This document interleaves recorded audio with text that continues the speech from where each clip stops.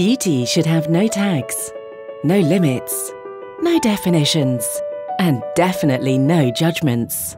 It's the rush you feel when you step outside the comfort zone, the thrill of embracing the new and never looking back. Be fearless in your pursuit of beauty and let the world know what's your beautiful.